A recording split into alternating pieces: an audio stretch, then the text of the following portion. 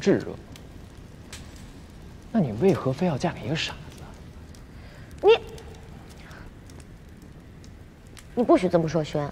哦，原来这个轩就是那个傻王爷啊！你，你再如此侮辱轩儿，就别怪我不客气了。好好好，好，我开玩笑的，你看。但说真的，你看上五王爷什么了？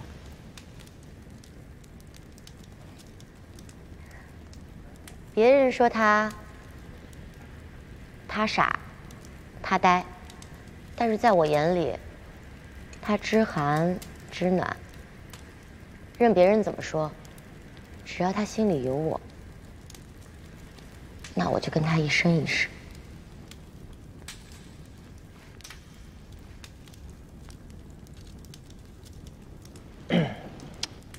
那他还真是傻人有傻福。